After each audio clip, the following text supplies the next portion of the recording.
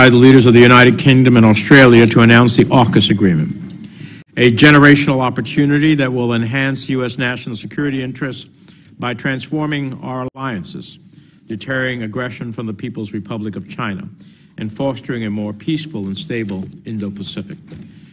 Beijing today has the world's largest navy. Xi Jinping's hyper-nationalist government has been laying claim to territory in international waters.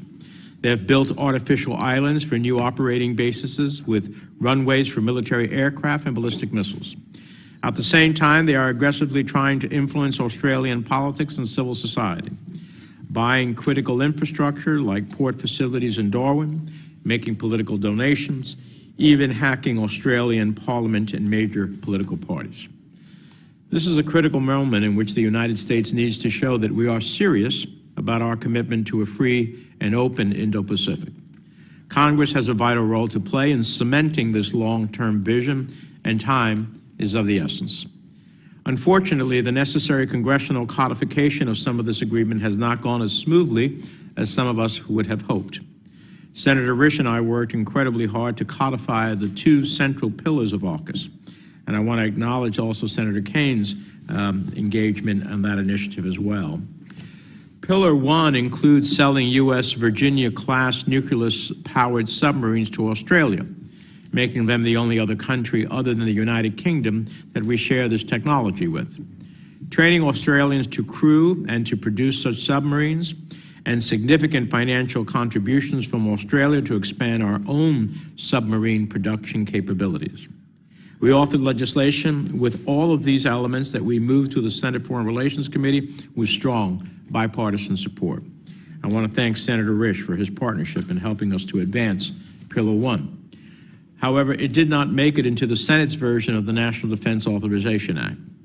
In addition to the French submarine industry, some of our colleagues in the Senate expressed concerns about the primary purpose of AUKUS, the submarine transfers and support. But if we fail to move forward with full congressional support of AUKUS, including the nuclear powered submarines, we are doing Beijing's job for them. China is, is against AUKUS because it complicates their calculations across the Indo Pacific. With nuclear power, these submarines can travel long distances underwater and undetected. This will give Australia the ability to protect security interests from thousands of miles away and we will be able to crew submarines together that operate directly out of naval bases in Australia, further enhancing our already deep bilateral relationship and enhancing our reach into the region. Congress needs to play its part if the agreement is going to work. We need to send the message that the United States can be relied upon. Australia and all our partners in the region are watching. President Xi is watching and thousands of Americans employed in our shipyards who would build these submarines and who would benefit from the Australian contributions to support and expand our submarine infrastructure are watching as well. So I hope our witnesses will help us understand why both pillars of AUKUS will improve the national security interests of the United States, Australia, and the United Kingdom. Because based on mission requirements set by the Navy, the United States and Australia need these submarines faster than they are currently being produced. Dr. Karlin, I think it would be helpful if you could clarify exactly how the Department of Defense plans to increase American sub production. How will you go from making 1.4 subs a year to three subs a year? Secretary Moy, I hope you can shed some light on uh, Canberra's uh, perspective. What will this deal mean for our alliance with Australia, and what is the cost of inaction? And finally, Secretary Lewis, how will you ensure that as we co-develop advanced military technologies with Australia, our proprietary products will be safe from Chinese espionage? Will this require changes to all parties' export controls to protect U.S. military technology, as well as the military technology we develop together through this new partnership? I'm supportive of Pillar 2 of the agreement, the co-development of advanced military technology, which will require streamlining and strengthening export controls among the partners. But I don't want AUKUS to be used by some as a Trojan horse to undermine U.S. export controls for the sake of commercial, industrial interests that are unrelated to the partnership. AUKUS should be about modernizing our historic alliances with two of our closest partners who have fought alongside the United States in defense of democracy and freedom. With that, let me turn to the ranking member for his opening statement. Well, thank you very much, Mr. Chairman. And uh, certainly, uh, I, I want to associate myself with the remarks you've made. Uh, both of us recognize uh, how important uh, AUKUS is, and uh, we're anxious to see it move forward. And certainly, there have been some disappointments so far but uh, that uh, uh, doesn't mean we can't do better in the future. And I think that's the purpose of this hearing, is try to get this thing on track and, move it more quickly and more efficiently. As the United States uh, enters into a period of strategic rivalry with China that includes military competition on a scale we haven't seen in generations, China has undertaken a nuclear breakout and fields the, lar- world's largest Navy and a fully modernized Air Force. To meet this challenge, we must move quickly to expand the reliance, uh, resilience and capacity of our defense industrial base. U.S. allies should be full partners in this effort, and the AUKUS partnership is an important first step.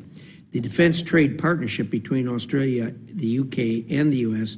is meant to bolster collaboration on joint advanced military capabilities. In particular, our goals include increased technology uh, sharing, uh, co-production and co-development, and expedited export licensing processes. Pillar one focuses on Australia's acquisition of conventionally armed nuclear uh, powered submarines. While this is bold and essential, it is also highly contingent upon supply and unlikely to produce increased sub, submarine capability in the Indo Pacific for a decade.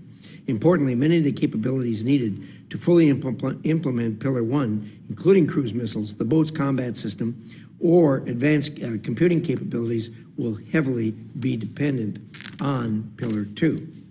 If, uh, if executed as intended, Pillar 2 offers the potential to produce meaningful results this decade. Pillar 2 can also expand and build, build resilience across the supply chains and industrial bases, an imperative given uh, the lingering impact of COVID and U.S. limitations exposed by Russia's invasion of Ukraine. However, our export control system remains over, uh, overly cumbersome and treats our closest allies with proven track records of technology protection as if they were our new or emerging partners. Simply put, Australia and the United Kingdom have legal, regulatory, and technology, technology control regimes that are comparable to those of the United States. Demands from the administration that Australia and UK undertake extensive reform of their domestic political and regulatory system are frankly condescending, and it highlights the need for a clear shift in the state in states' attitude toward defense cooperation with its allies. I fully appreciate that uh, we don't want to open the door, as the chairman said, to uh, using this as a Trojan horse to do some things we don't want to do. I've served on this committee for the uh, 15 years now that I've been in the Senate. I also, at the same time, have served on the Intelligence Committee. And I would like to report to this committee that one of the very first things I noticed uh, between the two committees is that uh, there is a very distinct difference between the way we treat allies in the intelligence field versus how we treat them on other things like export.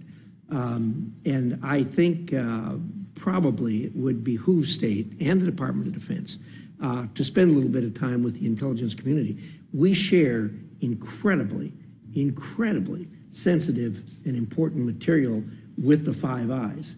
Uh, and so here, I, I don't have the concerns that some have. Uh, as, as, far as the chairman's concerned on using this as a Trojan horse, that is a legitimate concern, and it certainly deserves uh, uh, attention. But having said that, um, I, I, think that uh, th there may be an overreach there, and I think that uh, we, uh, we, we really ought to take a deep breath and sit down and review how we can reconcile how we treat our allies in the intelligence field and make it more compatible with how we treat them in trade and industrial uh, uh, matters. The Department of State, in concert with the Department of Defense and Commerce and other relevant U.S. agencies, should clearly communicate to our AUKUS partners our requirements to ensure robust technology, security, and export control measures and then adhere to them. In addition, these agencies should work to reduce barriers uh, to defense innovation, cooperation, trade production, and sustainment with the governments and industry partners of the United Kingdom and Australia. If AUKUS realizes its potential, it will set a precedent and incentivize similar agreements with other close U.S. allies.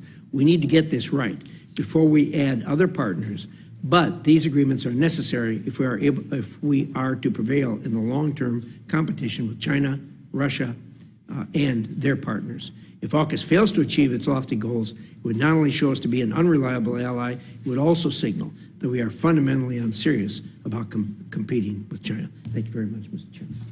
Thank you, Senator Risch. Let's turn to our witnesses. It's my privilege to welcome back to the committee Assistant Secretary for the Bureau of Political Military Affairs, Jessica Lewis. Prior to assuming her role as Assistant Secretary, she served here on the committee as the Democratic Staff Director for five years. Those were the most glorious years of her career.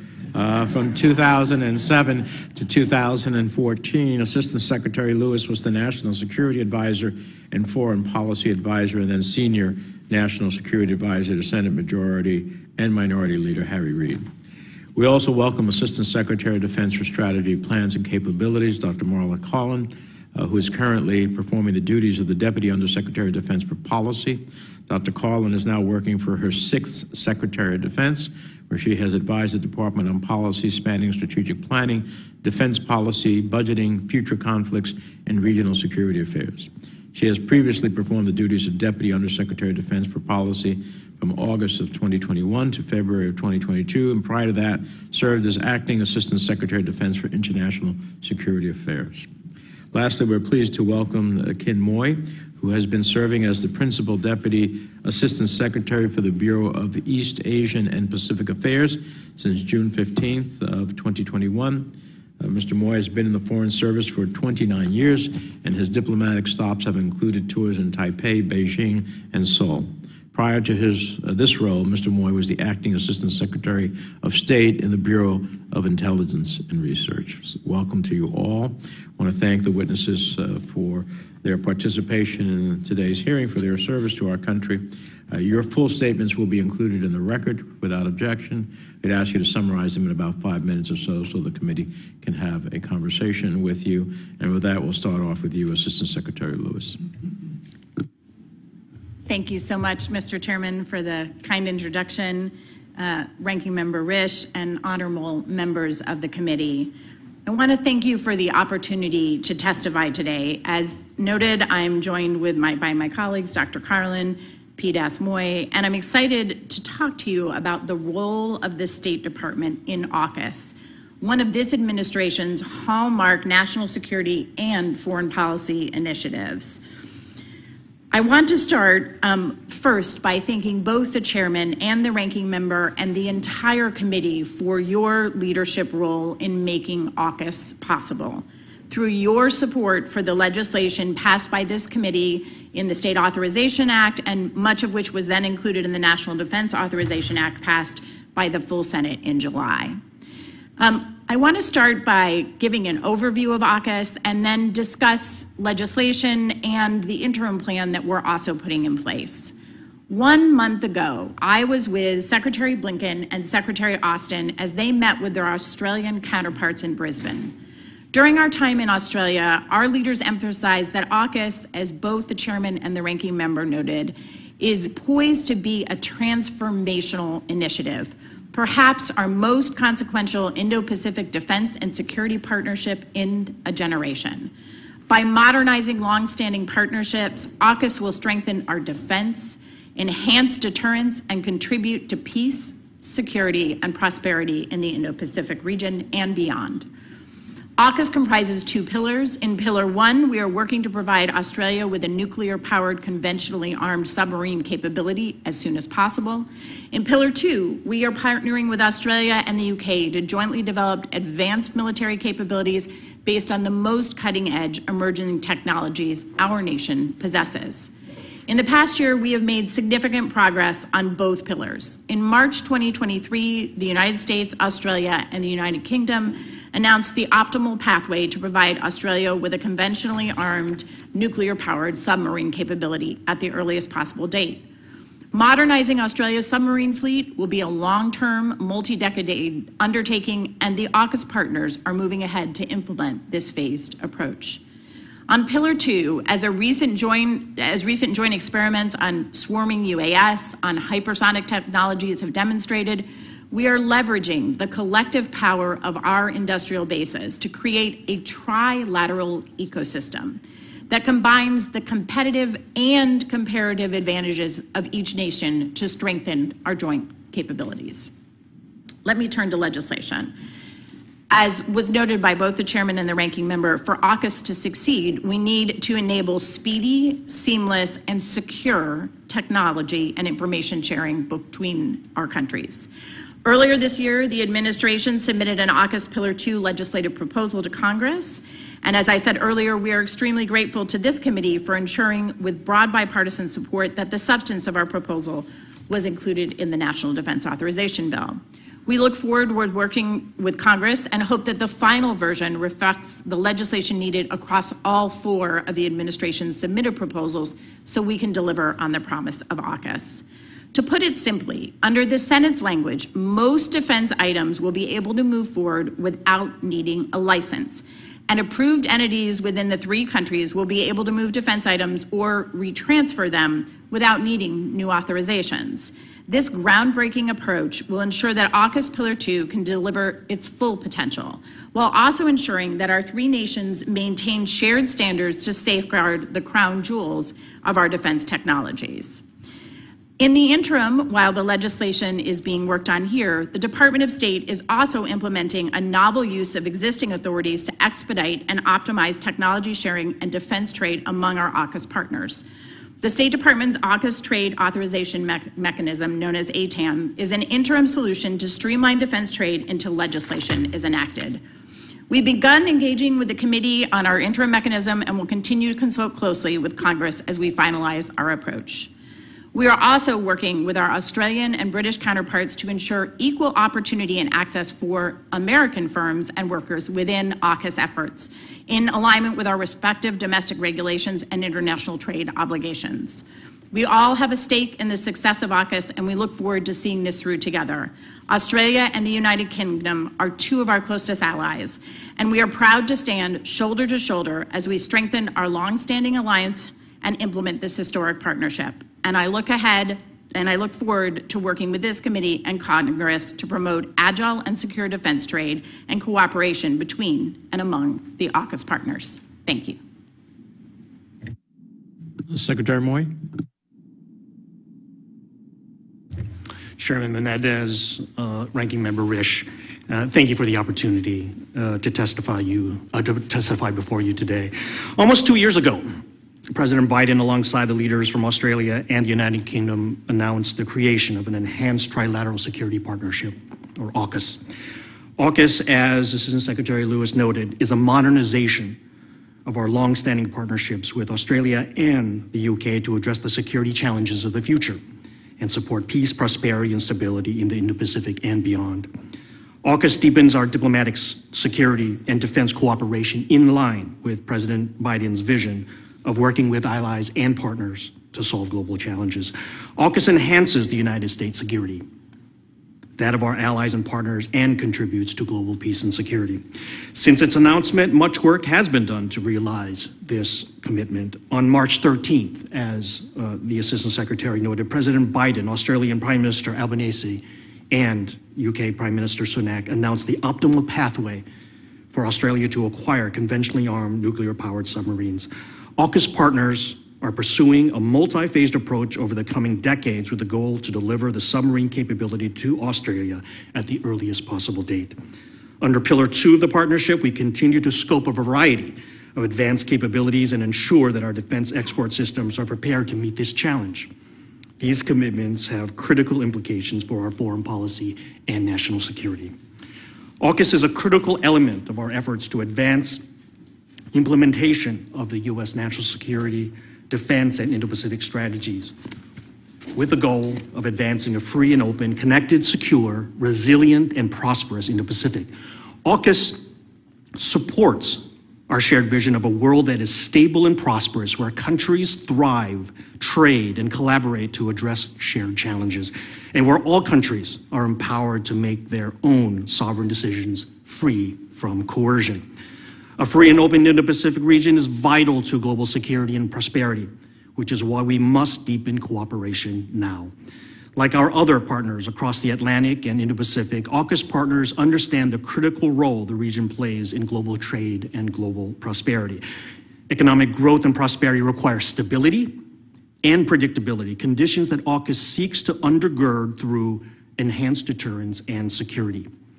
Our alliances and partnerships have played a foundational role in contributing to peace and prosperity in the Indo-Pacific for the last 70 years.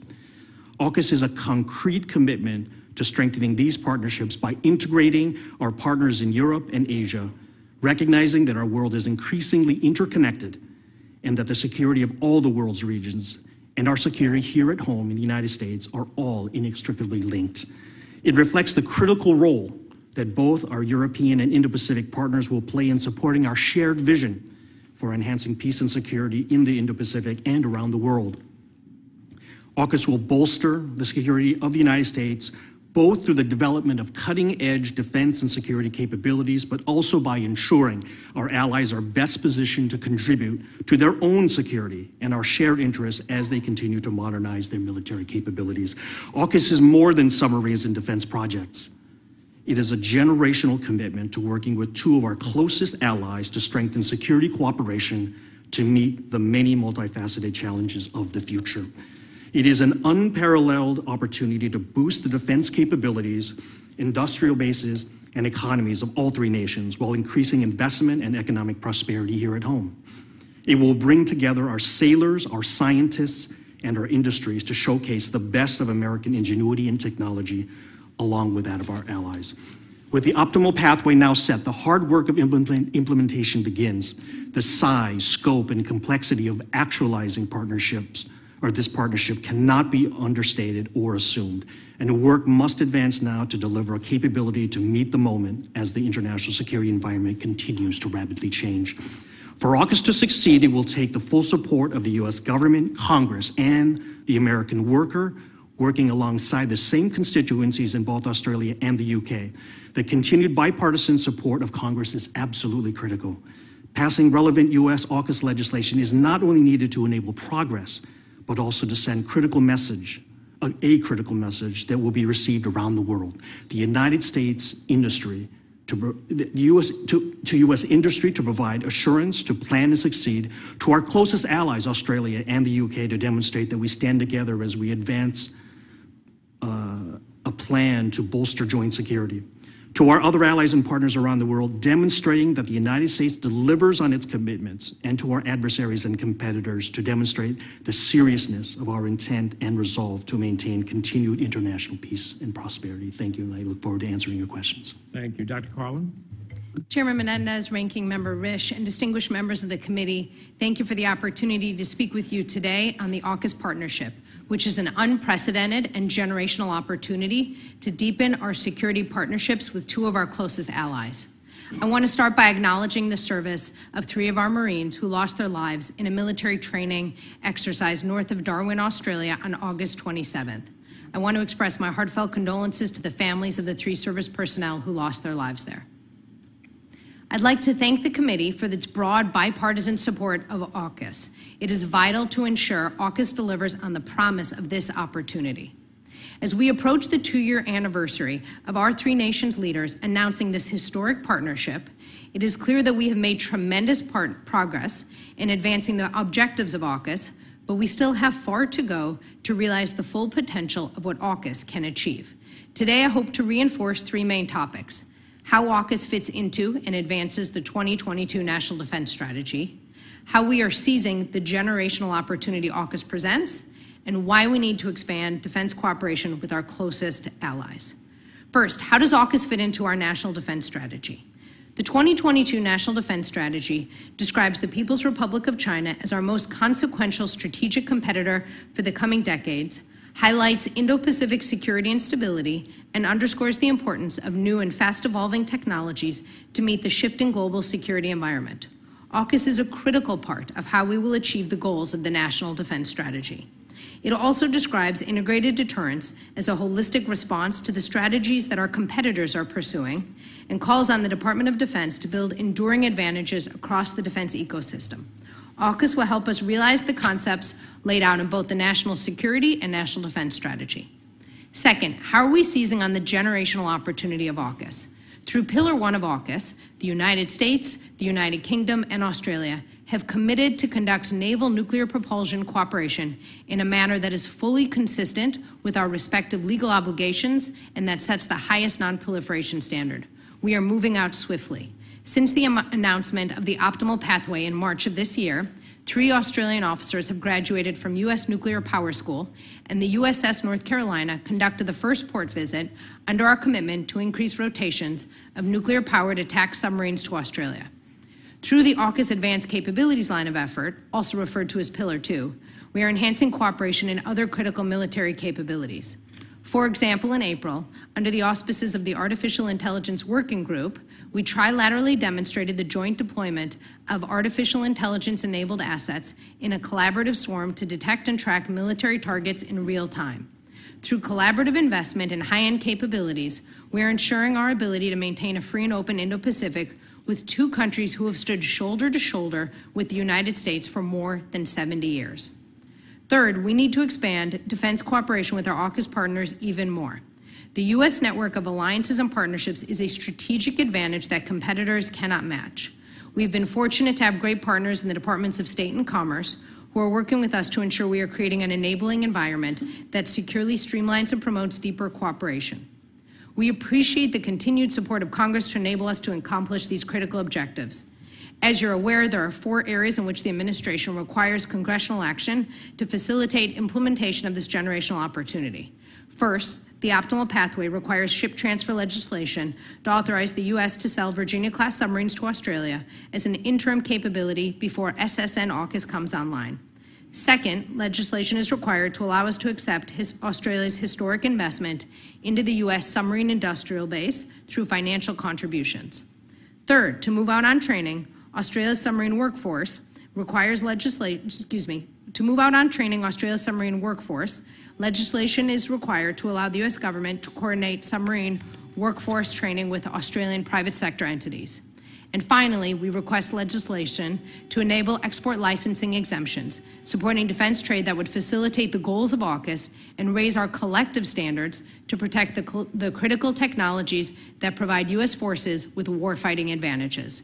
We cannot implement AUKUS without your critical support in all of these areas. Mr. Chairman and distinguished members of the committee, thank you for the opportunity to meet with you today, and I look forward to answering any questions you may have. Thank you all for your testimony. Be- Before we start a round of five minutes, I want to ask unanimous consent to include in the record an article uh, that is entitled Meet the Tiny State Department Officers Clearing Billions of Dollars Worth of Weapons for Ukraine. They've handled a 150 fold increase in work by doing in hours what used to take months. Without objection, so included. That happens to be Secretary Lewis's department.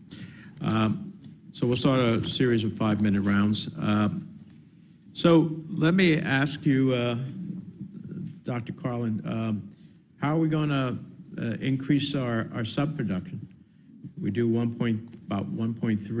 We need to get it to at least three.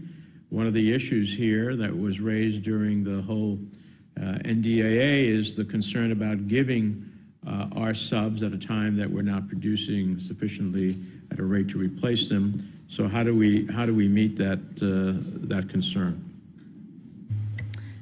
Senator, as you know, we have two really important advantages our undersea capability and our historic network of alliances and partnerships. I want to hone in on the first to make sure I get at your question. There's two pieces here there's maintenance and production. And so we need to make sure that we're investing in both of those so that we can have more operationally available submarines, particularly out in the Indo Pacific, given the, the focus that we're talking about today. With Congress's leadership and support, the administration has been able to put in billions of dollars, indeed approximately $4 billion in the latest president's budget for both production and maintenance of submarines. And so there's a lot of really hard work to help increase those numbers. If I could just hone in on maintenance for one moment, the Navy in particular has been doing some really good work to increase the availability of submarines. And indeed, since May, that availability has gone up from 60% to 67%. The goal is to get to 80%, which they think that they're on track to do in about 2027 or so. That would allow there to be seven more operationally available submarines in our arsenal. This is all really important for So you're suggesting that a significant increase in maintenance opens up more subs to be put at sea? Indeed. Okay. Uh, What happens if we don't approve Pillar One?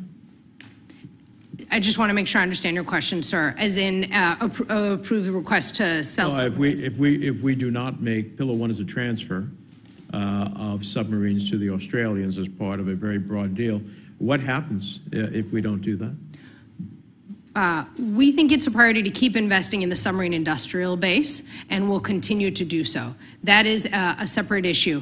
Uh, look, uh, uh, Australia has demonstrated a commitment uh, to purchasing these uh, conventionally armed nuclear-powered submarines. They've shown that they will treat this responsibly. I would note that there's a bit of a crawl, walk, run approach to how they can do this. So getting uh, submariners who are trained in how to do so, getting workforce trained, it all kind of builds on pieces so that AUKUS can deliver its full potential to deliver deterrence at every phase.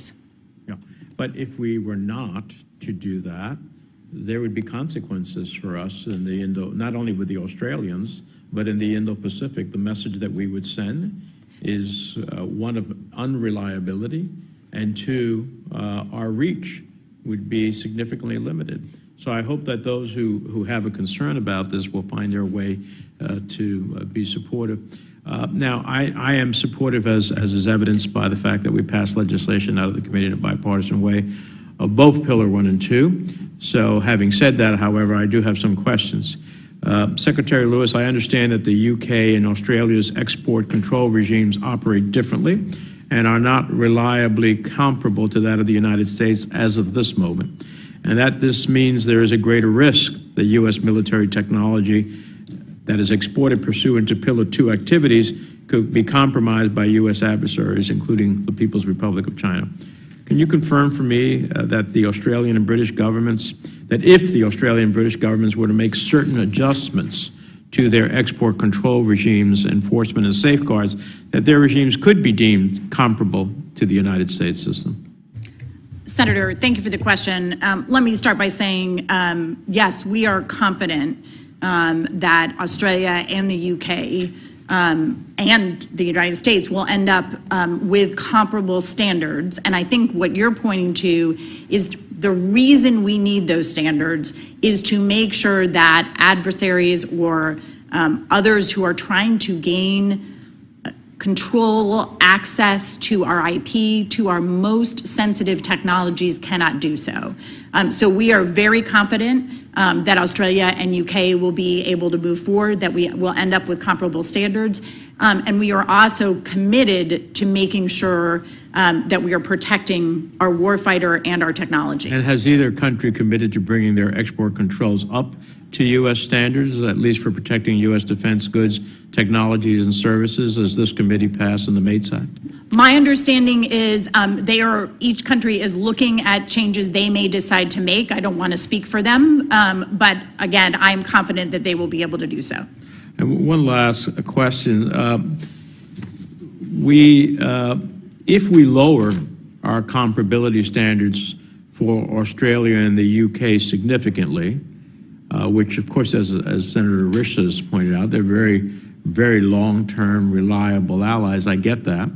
What do we do uh, when other partners tell us that they inevitably uh, want the same lower standards?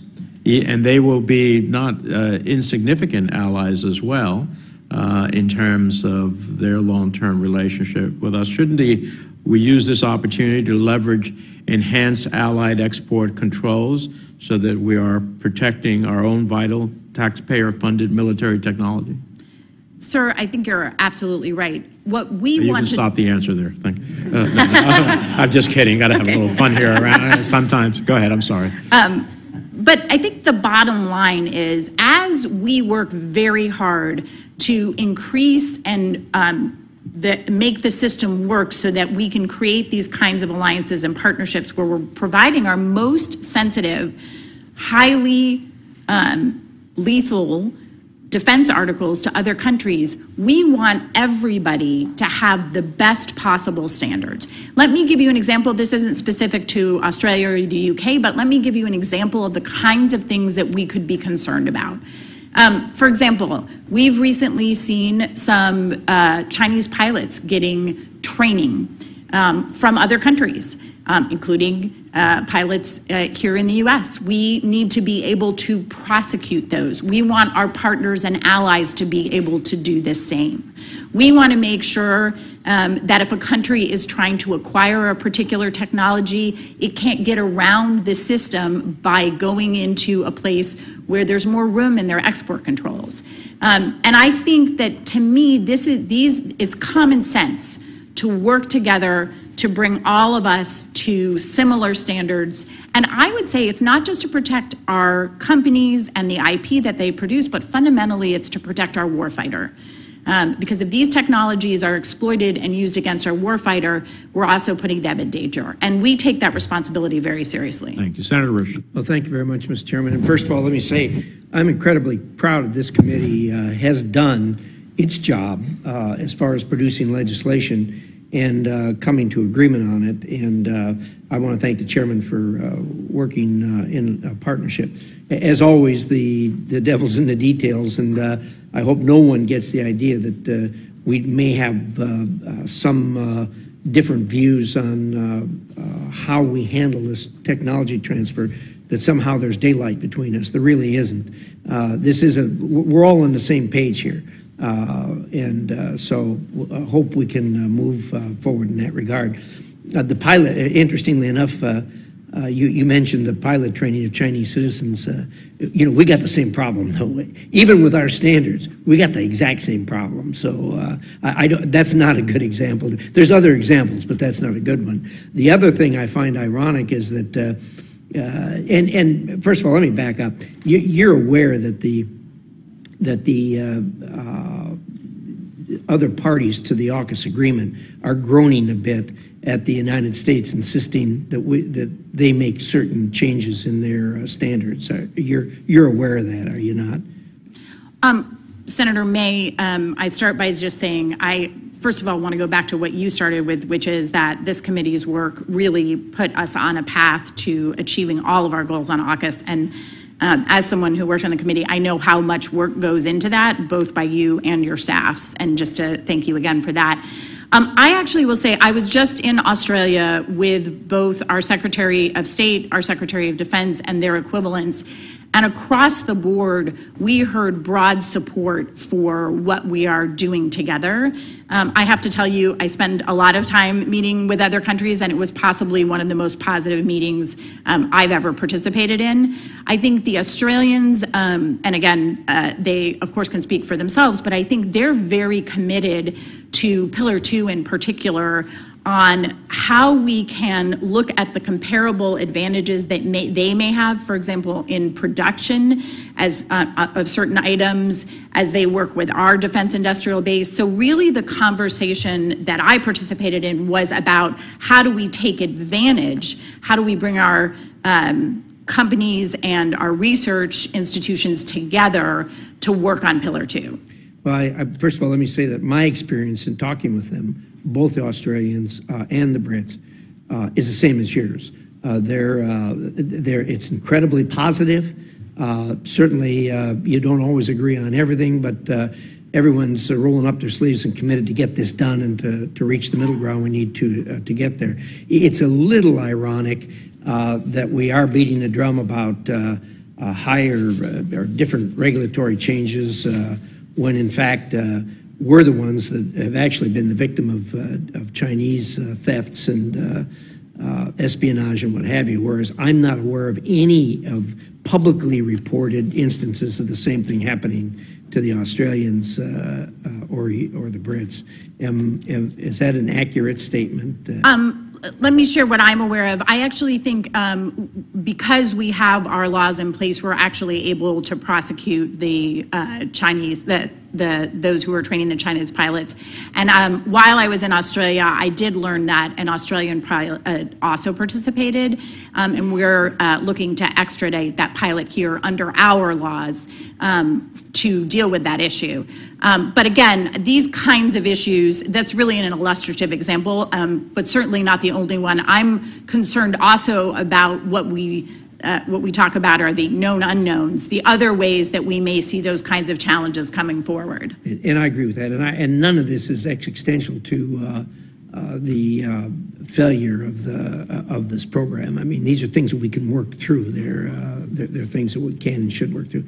On ATEM itself, um, I, I would really hope that you don't view ATEM as being a solution to the problem. It's temporary, and, uh, there's got to be more to it than that. So, number one, we need to get it finalized. Fair enough?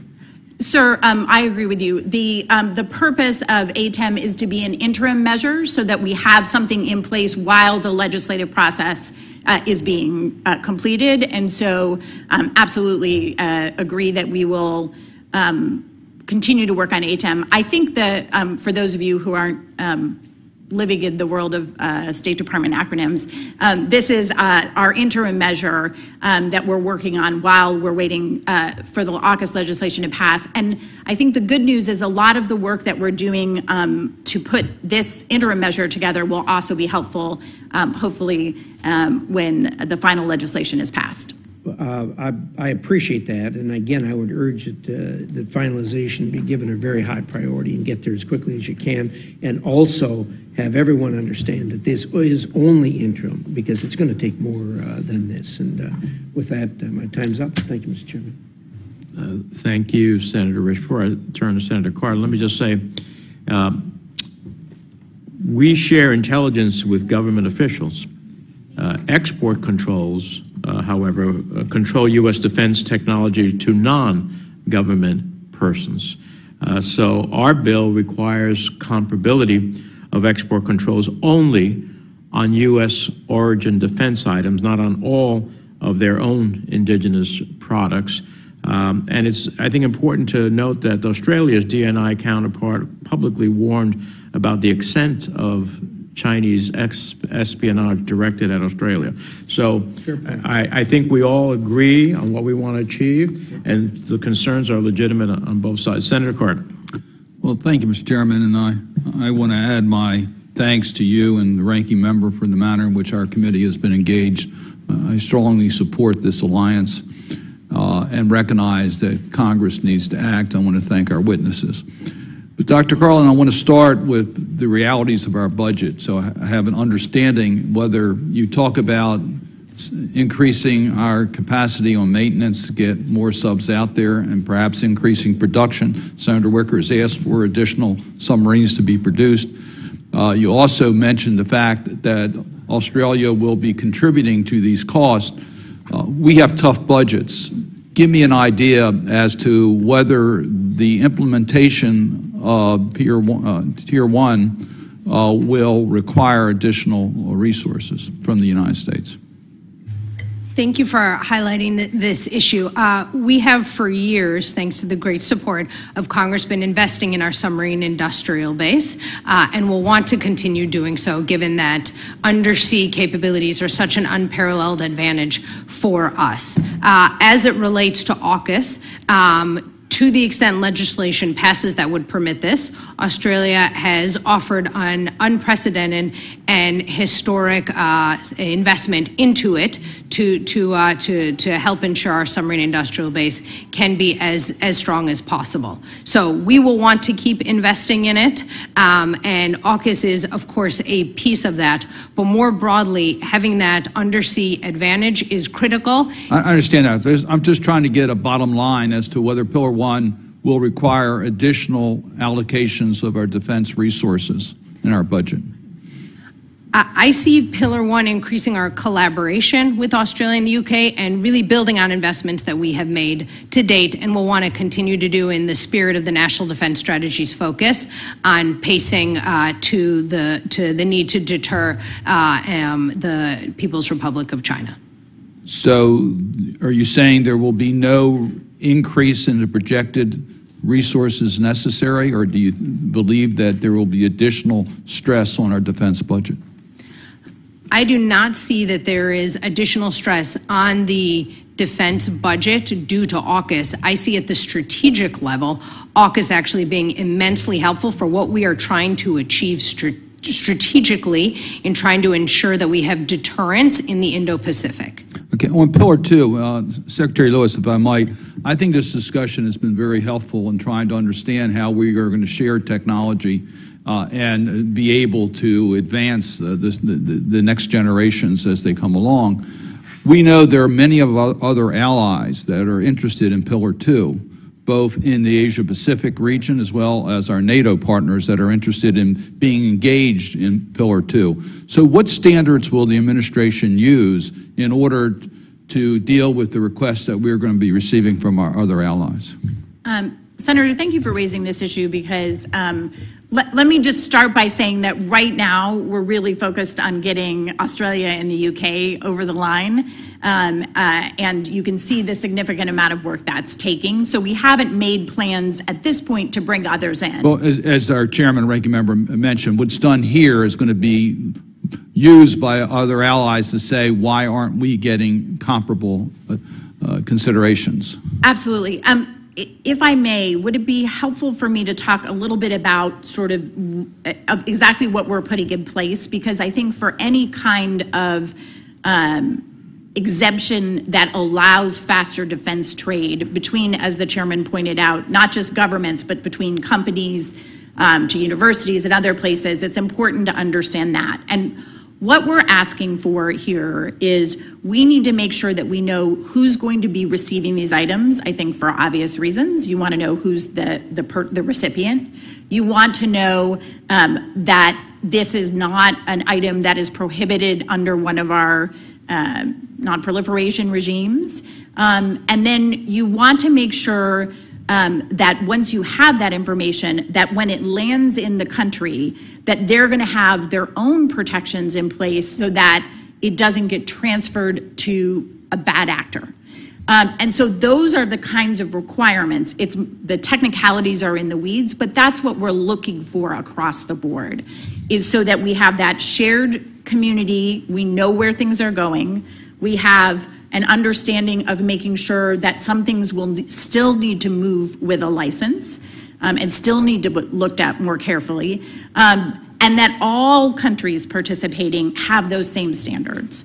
Um, and so I do think that is a precedent we're setting moving forward.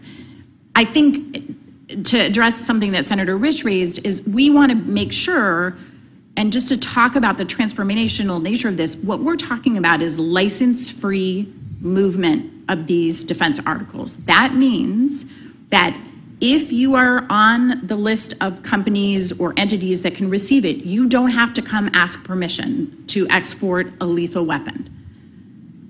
You can receive it. Um, and that is why this is so important um, to make sure that when that entity, whether it's a university or a company, receives it, that nothing is going to happen in the next step where we end up having it exported to um, a bad actor or someone who may want to exploit it. And I think those are the standards we need across the board. Thank you. Senator Ricketts? Thank you very much, Mr. Chairman. We've talked a lot today about deterring the People's Republic of China. As the chairman said, they've uh, got the largest navy in the world. They are expanding their capabilities, and this is all part of Xi Jinping's plan to dominate the world by 2049. And in some areas, they're outpacing us with regard to their technological capabilities. But one area they cannot do that in is our allies. And that's why this AUKUS agreement is so important. And it's important that we get it right, that we get our ducks in a row to be able to meet the commitment. The Navy has a requirement to have 66 fast attack nuclear submarines to be able to defend this nation. And right now, we're sitting at 49, and I think, Dr. Karlin, you mentioned that uh, up to 40% are not available or were not available due to maintenance issues, and they've got it up to, now it's down to 33% are not available. and they're hoping to improve upon that.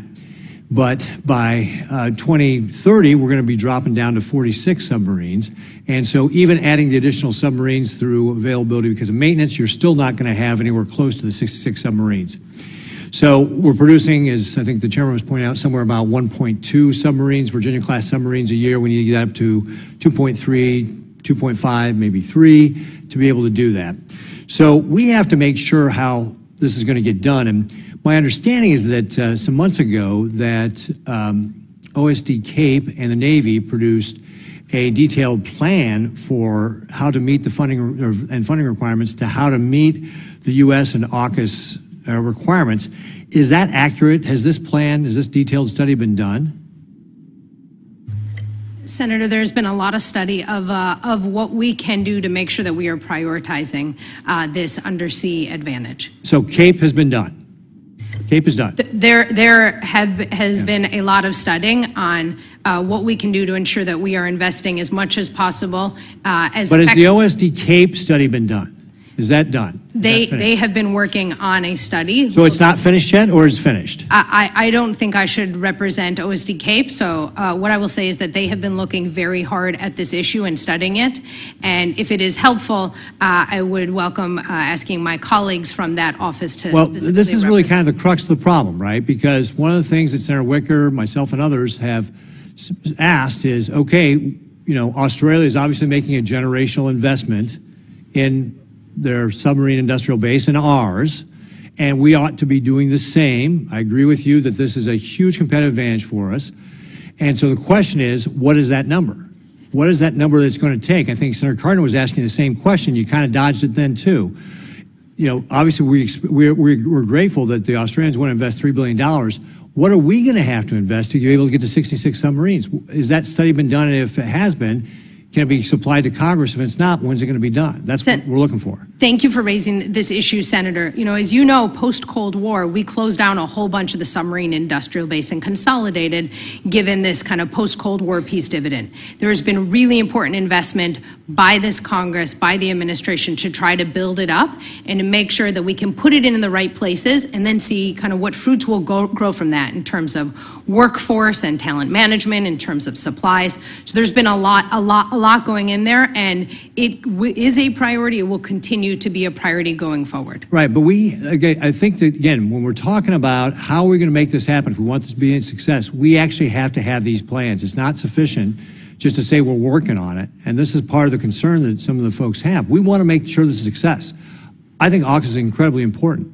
If we're going to make it a success, we have to know what we're going to be investing. And this is why, you know, is the administration going to ask for a supplemental to be able to do this? And I'll throw that open to any of the panelists. Is the administration going to have a supple- supplemental to start doing this investment?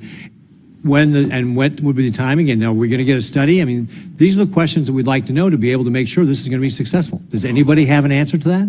Senator, we want to make sure that we are robustly sharing information on this topic because we know how important bipartisan congressional support has been in AUKUS and also in investing in our submarine industrial base. That's great. So share the information.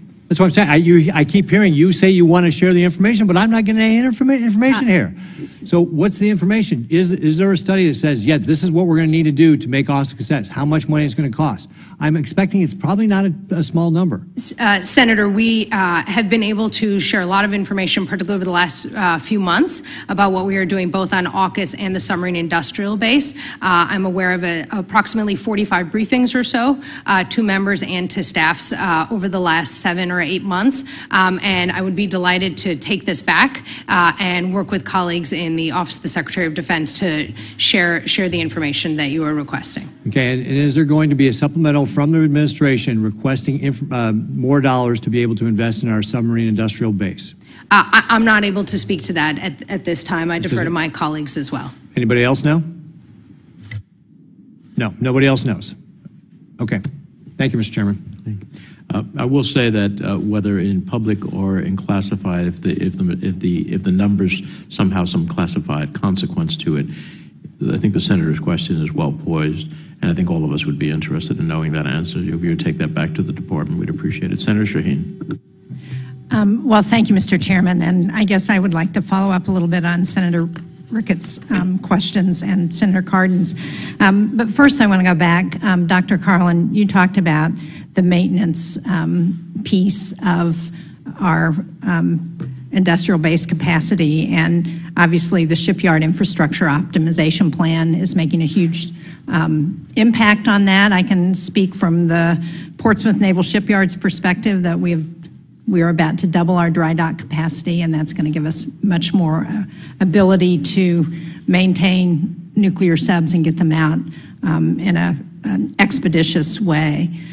But I guess, and, and I would agree that we have made substantial investments in our defense industrial base in a way that is contributing to our ability to produce the submarines we need. Um, I've talked to suppliers in New Hampshire who are benef- beneficiaries of that investment, but it still um, seems clear to me that despite all of that investment, we don't yet have the capacity in that defense industrial base to build the subs that we need to, to meet the AUKUS agreement. Is that an accurate assessment, or do you see something different? Uh, Senator Shaheen, I think I might take that uh, a little bit of a wider aperture on that, which is uh, we absolutely need to be able to produce and maintain more submarines for our strategic interests, for our ability to be able to deter in the Indo-Pacific and also globally.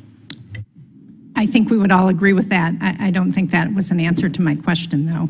I think my question was based on what I know about our situation at present, we don't now have that capacity. Is that correct or not? The, I, I want to make sure I understand which capacity you're talking about, because the way AUKUS is set up, we're not actually going to be, assuming congressional support, obviously, we would not actually be selling submarines to Australia for at least a few years, and, uh, right, in, in terms of delivery. And if we continue on the trajectory we're on with maintenance, we would have uh, approximately seven more submarines that are operationally available at that time. Uh, So I think when I would look at that operationally available picture, it is a whole lot more, more satisfying to be able to ensure both, to be able to ensure the strategic intent uh, of AUKUS. So what you're saying is if we continue to invest at the rate we are investing, um, that by the time our commitment to provide those submarines comes due, we will have that capacity. At this stage, with the information we have, it does appear as though we are on that right trajectory in terms of the impacts of, of investments. I think this is an area one needs to monitor really closely. Uh, I'm delighted to hear your case studies of the impacts of investments to date, uh, but we, we're just all going to need, need to watch that closely.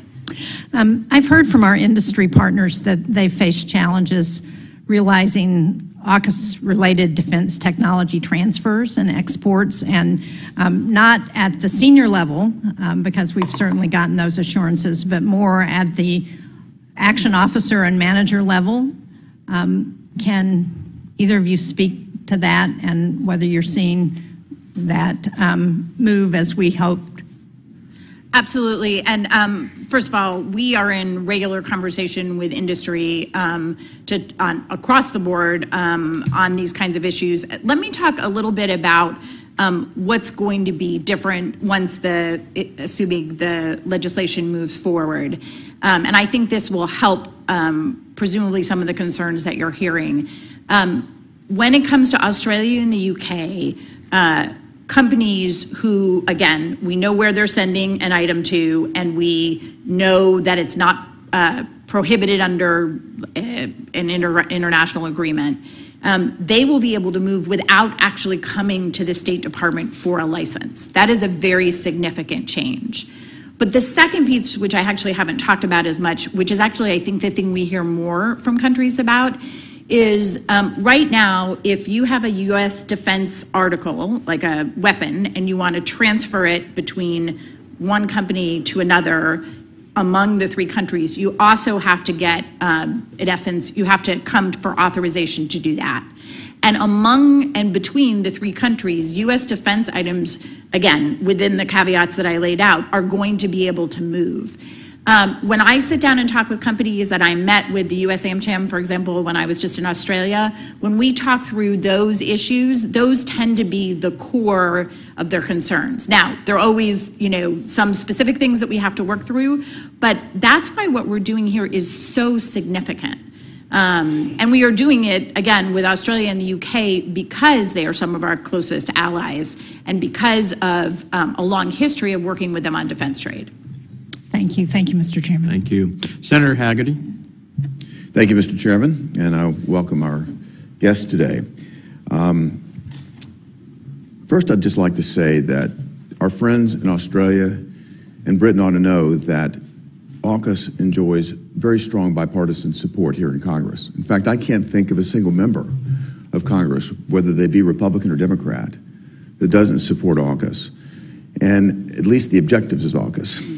Uh, I think the question before the President and Congress right now is how to implement AUKUS quickly, also effectively, for everybody that's concerned. As part of the first submarine pillar, the administration has put forward a plan for the United States to sell and transfer some three to five nuclear-powered attack submarines to Australia starting in the early 2030s. But the administration still hasn't put forward a credible long-term plan to ensure that our Navy can meet its requirement to have 66 attack subs in a reasonable time frame. And ladies and gentlemen, that's a problem. Today, the Navy has 49 attack submarines. That's roughly 25% short of its goal of 66 submarines. The pace of making, as I've read, maybe 1.2 submarines a year, by giving these submarines to Australia, that'll put us three to four years behind in our production process. And looking at the Navy's most optimistic projection, they don't see realizing this goal of 66 attack subs until the year 2049. That's before taking into account the submarines that we would send to Australia. I understand that there's talk about maintenance being some type of fix for this, maybe extending the life of the submarines that we do have in service, but we're only at 75% of our goal right now in terms of how many submarines that we have. This is a band-aid fix. We've got to look at our capacity. There's no real substitute, I think, for having a strong industrial base to build these submarines and to meet our deterrence goals. And I'll start with you, Assistant Secretary Karlin. Do you agree or disagree with anything? Do you agree with what I said, or do you disagree in any way? Senator, I really appreciate the points you made on the strategic importance of AUKUS, but also on the importance of our undersea capability. It is un, an unparalleled comparative advantage, and it is absolutely a priority. The National Defense Strategy un underscores this as well.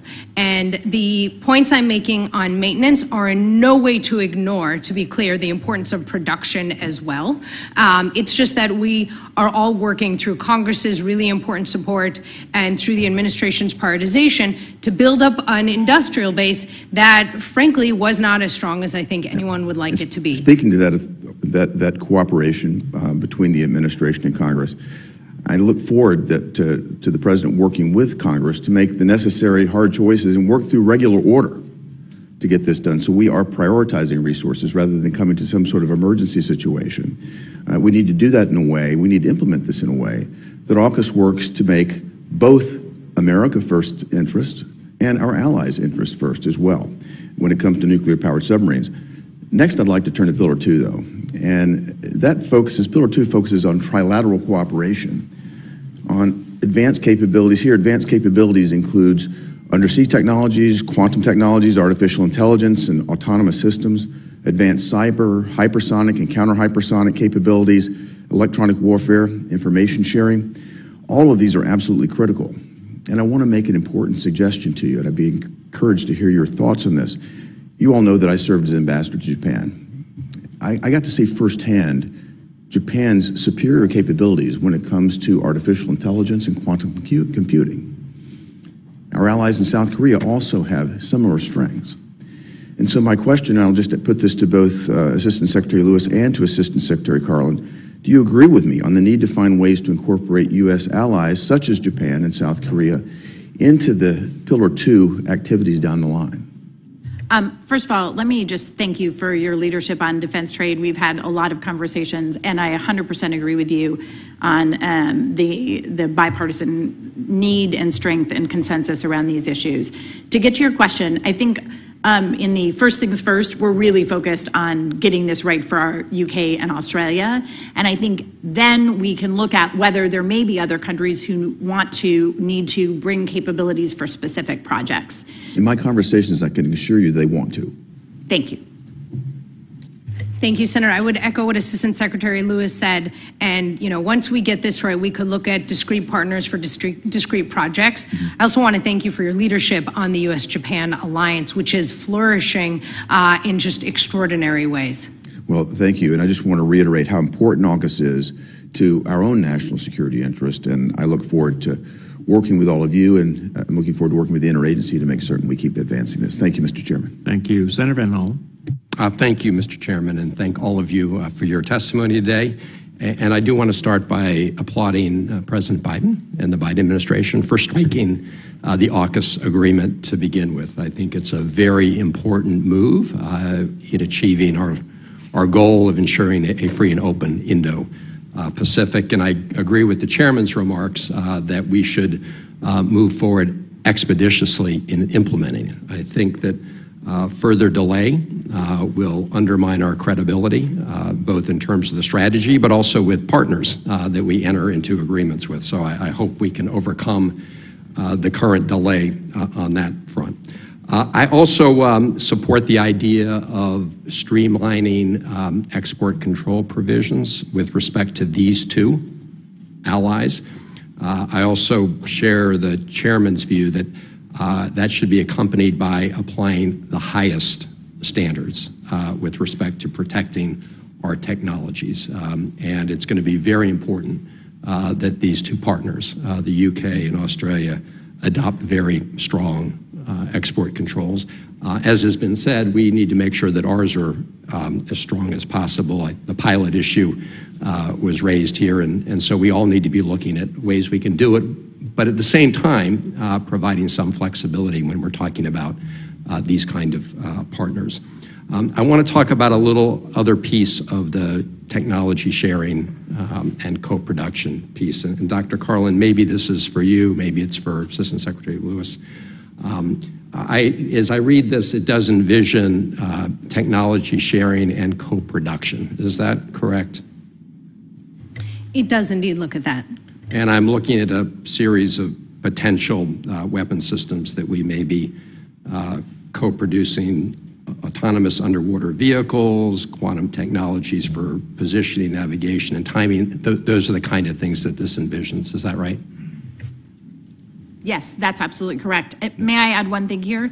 I think part of why we're talking about these advanced technologies, and Dr. Karlin may want to add more on this, is because we think this is a unique opportunity to leverage the different capabilities and strengths that different, the three countries bring to this problem set. Right. Um, and so why, that's why we're talking about co-production, and that's why the defense trade needs to be smooth. Right. So before I, so I'm, you don't need to convince me of, of, of that, but here's my question and my concern, and this is going to be important with respect to precedent. Uh, let's take a hypothetical co-production agreement of a autonomous underwater vehicle where the United States um, invests the lion's share in the co-production, 80%, whatever it may be. Would either Australia or the UK, under that scenario, have the ability to veto a decision by the United States to transfer that system to, say, our Ukrainian uh, friends fighting Russian aggression um, as we speak? Because I think it's very important that we don't give up our ability and authority to transfer a system where we've done the lion's share of the production uh, to other allies in need. So can you can you talk to that, either of you? Um, let me make sure I get you the correct answer. Um, let me start by saying co-production and co-development agreements vary significantly. We do these with other countries without AUKUS, and so I need to be a little careful about not getting ahead of whatever may be written into these agreements. Um, but fundamentally, um, if a U.S. company um, would own a certain kind of technology, um, then we would still be able to control the export of that technology. Um, but again, I need to be careful to not get ahead of um, the way these agreements are written because they all do tend to be slightly different. Right, I understand. And in fact, you know, my, my concerns are, are raised by some of the current co-production agreements um, and the fact that some other countries are limiting our ability today to transfer our own uh, systems uh, to uh, the fighters in Ukraine. And so I think this has sort of opened the door to the larger question of when we enter into uh, co-development agreements and co-production agreements, where the United States is the primary actor and primary financial backer. Um, in my view, we should not be giving up our sovereign right to transfer those weapon systems to other allies in need. So, for example, today to the Ukrainians. So I'm going to want to pursue that uh, question with you going forward. May I add one more thing on this? Um, Part of the reason we're doing this with Australia and the UK is because they are among our closest allies, where we would not anticipate those kinds of issues.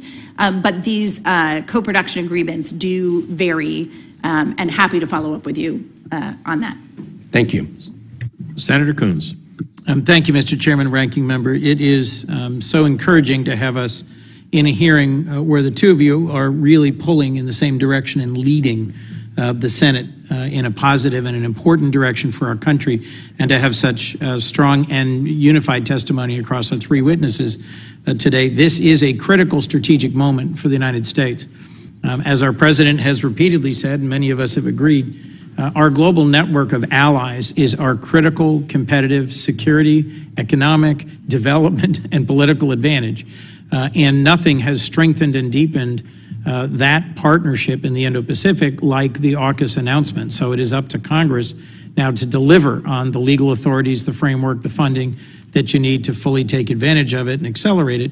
Um, I recently had dinner with the Australian ambassador to the United States, Kevin Rudd, a, a trenchant observer of Australian politics, given his former service as prime minister and uh, his deep and intimate knowledge of uh, the challenge posed by the PRC. Um, and uh, joined Senator Murphy and a number of other uh, two Republican senators and many House members on a trip uh, to the United Kingdom where we had a series of meetings uh, about AUKUS. I'm very interested in Pillar Two and the questions uh, Senator Van Hollen just raised, but let me just briefly, at the outset, if I could, um, um, Ms. Lewis, Secretary Lewis, um, are there? Can you be specific? Are there any legal authorities that are required from this Congress that you think haven't been precisely defined in the previous rounds of questioning back and forth with you? I mean, I think just uh, to make a point of clarification, I think, as you know, there are four different pieces of legislation Yep. that we are looking to move. One of them, uh, which is focused on Pillar Two, is focused on the export controls. I would say it is, um, and I'm going to take that one to talk about. I think the reason we need that legislation is because of what you just laid out the companies and the countries need surety about how these defense articles are going to move, and we need confidence that they're going to move speedily and safely. Um, and so it is mission critical for us to have this legislation. Um, Dr. Karlin may want to add more on the other two, but obviously the ship transfer legislation is also uh, mission critical for achieving Pillar One. Happy to go into any more detail that would be helpful. Um, Before I turn to Dr. Karlin, let me just add um, a simple observation I made in our conversation in the United Kingdom. Uh, Any list of the top 10 research universities in the world typically includes two from the UK, Cambridge and Oxford, if not others. Uh, Their prime minister and many uh, in leadership there are focusing on their particular capabilities in artificial intelligence, uh, quantum computing as well. As you've mentioned repeatedly, Pillar Two, um, in many ways, has the longer term greater significance in that it may align our three nations uh, more closely in terms of developing really challenging and important new technologies, autonomous underwater drones, for example. I would argue that our procurement system, our defense procurement system, is ossified, sclerotic, antiquated, slow moving. Pick your favorite uh, multi syllable description. But I don't think there's anyone that says that our defense, innovation, and procurement and deployment system is moving at the speed of technology and moving at the same speed of our pacing throughout the PRC. Is it possible that through the Pillar Two partnership, with Australia or the United Kingdom, given that they are smaller militaries, that they may have different uh, legal constraints or operational constraints, that we would find in them a research, development, and deployment partner able to move with more agility, particularly in emerging technology areas. Dr. Karlin? Yeah, thank you very much, Senator. I I think that's quite conceivable. I mean, as, as you note, our, our, whether it's our procurement system or our export control system, this was all kind of de- designed for a different world, one where we, the United States, had uncontested military and techno, uh, technological dominance, and the security environment has changed in a whole bunch of ways. We have, as you note, this unparalleled network of allies and partners. It's our center of gravity, and so just as our system is go- is able to learn and move in different ways, so too Australia and the UK. And I suspect you heard a lot on, on your trip, both of whom have really put AUKUS at the heart of what they are doing. I'm struck by how the Ukrainians have demonstrated a remarkable ability to take off-the-shelf civilian products and modify them, deploy them, and to take material from dozens of countries all over the world in a way that our system just is not capable of doing.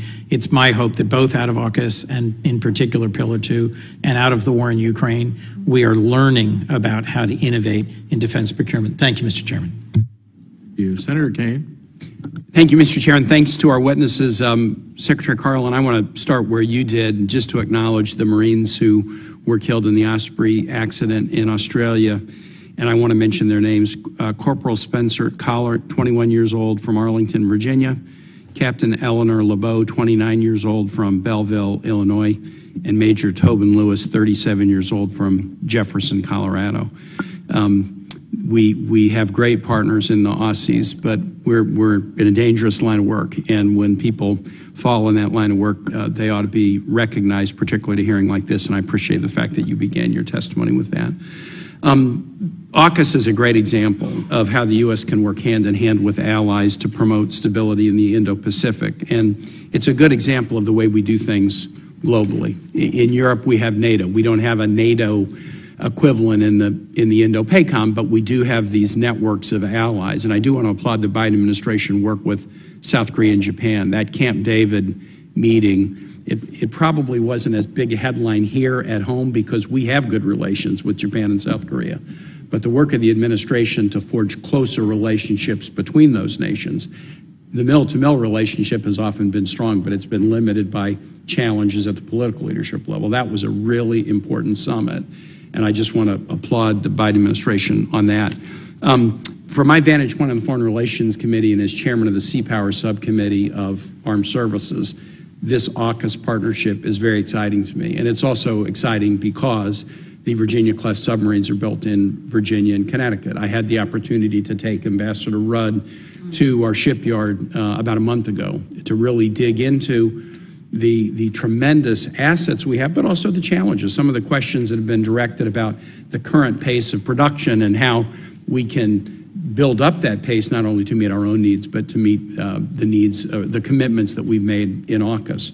I, I want to follow up on a question that, that Senator Menendez put in. What if we didn't do Pillar One? Pillar Two, I think everybody's excited about, and, and everybody's supporting Pillar One. I think we're asking important detail questions, but but there's a little bit of a chicken or an egg with Pillar One because Australia is going to make a historic investment in the U.S. industrial base. But they're only willing to make that investment if they know that during the 2030s we will be willing to deliver to them three to five Virginia class subs.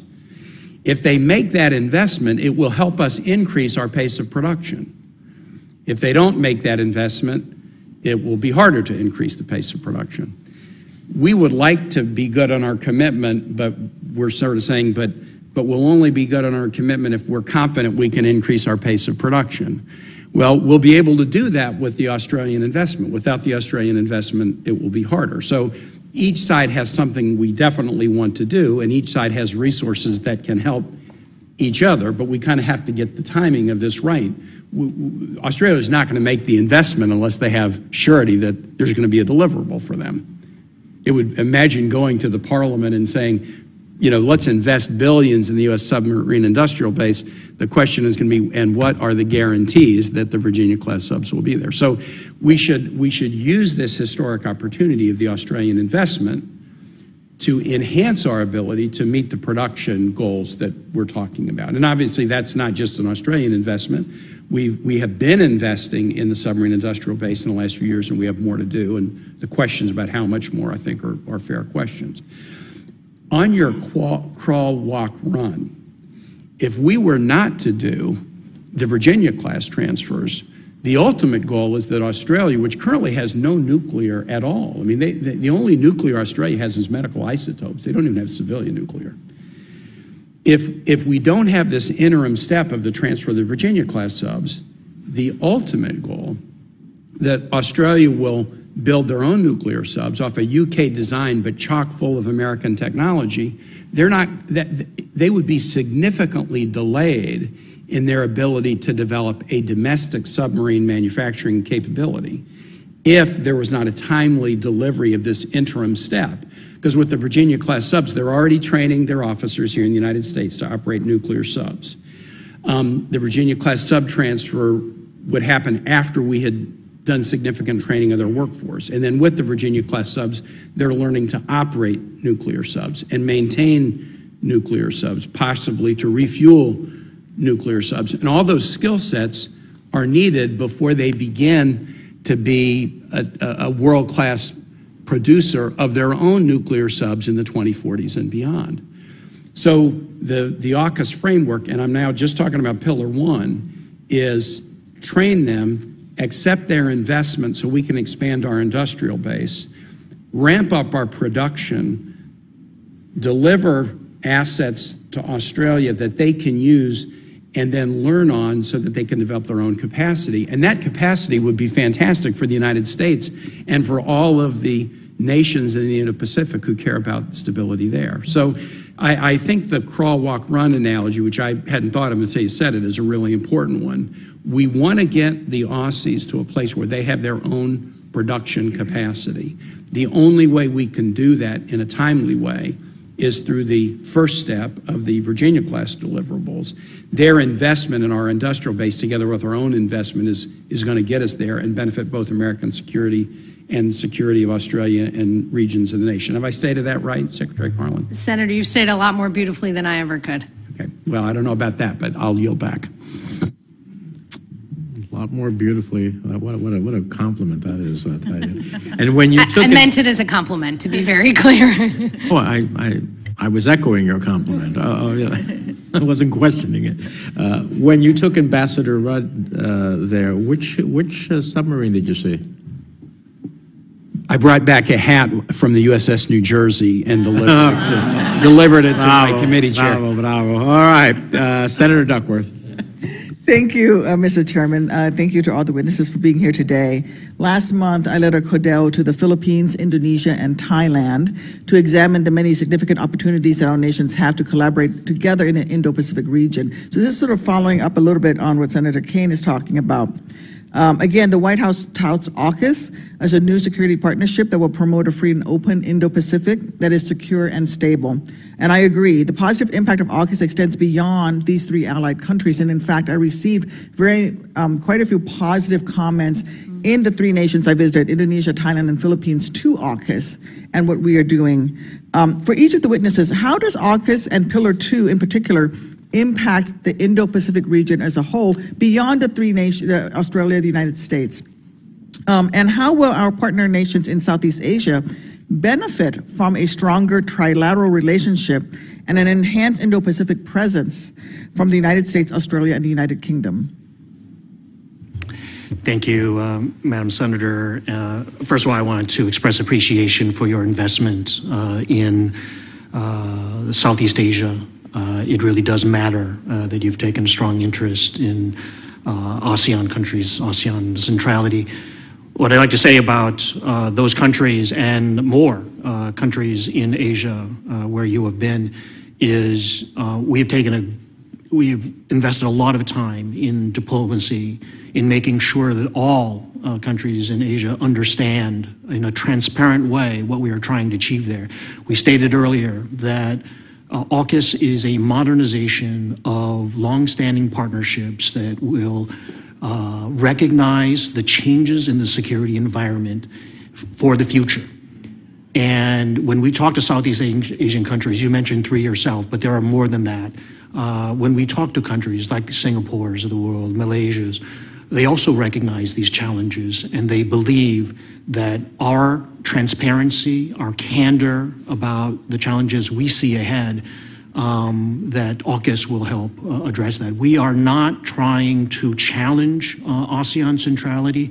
We, in fact, believe that Au- AUKUS can be complementary uh, to uh, ASEAN centrality. So we look forward to more discussions in the future with our uh, allies and partners in Asia uh, and around the world to make sure they understand the truth about AUKUS, to make sure that the disinformation coming from other parties uh, does not prevail, uh, and that they have facts, and that uh, when we uh, provide those facts, we believe that we will prevail uh, over them uh, in ensuring the uh, security of uh, the East Asia Pacific region uh, in the future.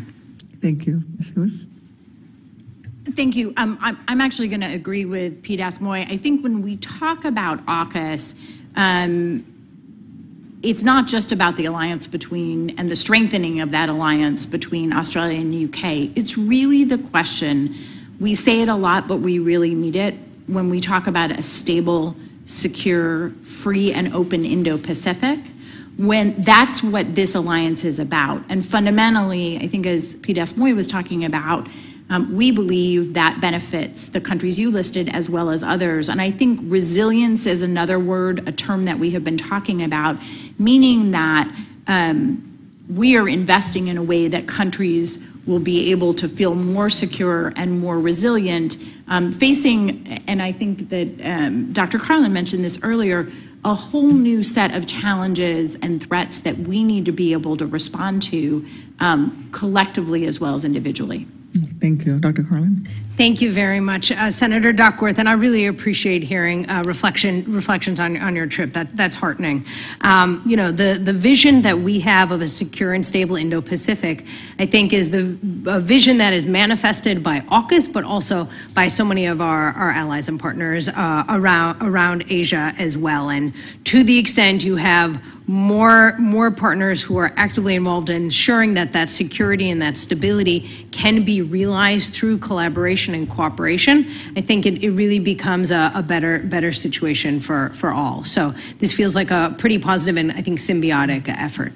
I, I, I agree with you. I, I think that the success of these regional mechanisms, um, whether it's AUKUS or the Quad, um, uh, can only help uh, uh, our interests in, in the Indo-Pacific region in particular.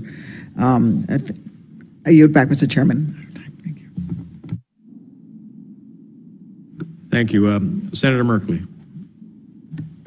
Uh, Thank you, thank you very much. And um, I had a chance to, to travel uh, to Vietnam and Indonesia uh, earlier this year. And um, there's a, a fair amount of, um, of confusion, I will say, as we talk about AUKUS, uh, the Quad, and then reinforces centrality, as, as you put it, uh, Deputy Secretary May, um, of uh, ASEAN.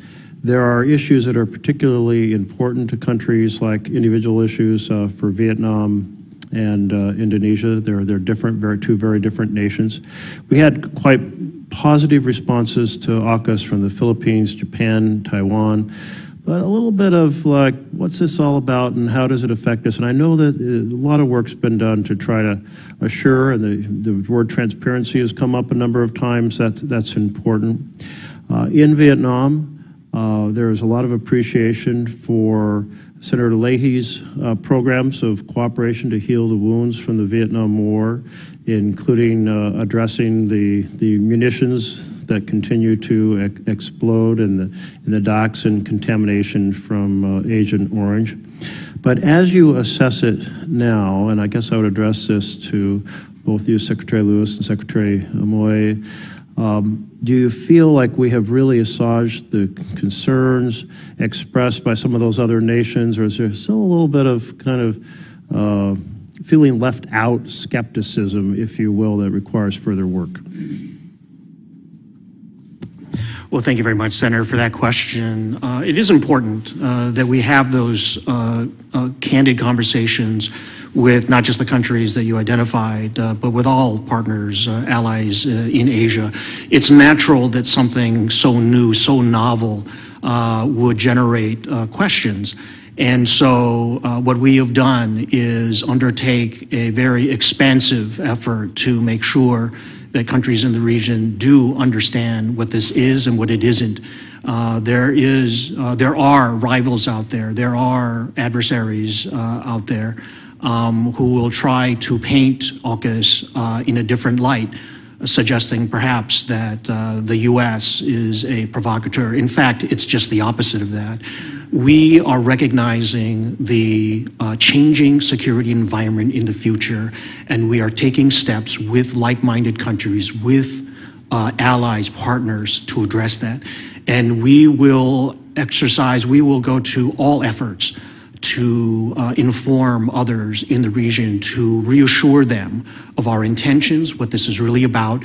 I am glad that our partners, uh, the, uh, our Australian and UK partners, have also undertaken these efforts to make sure that uh, regional uh, friends and, and, and others uh, are fully aware of our intentions and what this is. And so we are committed to this. It is not uh, to say that we our work is done and that we are satisfied. Uh, we will continue as uh, AUKUS evolves to inform uh, our friends and partners out there just to make sure that they do understand what we are trying to achieve.